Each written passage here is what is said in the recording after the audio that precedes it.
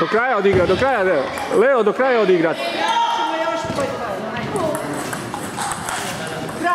To, ajmo, do kraja.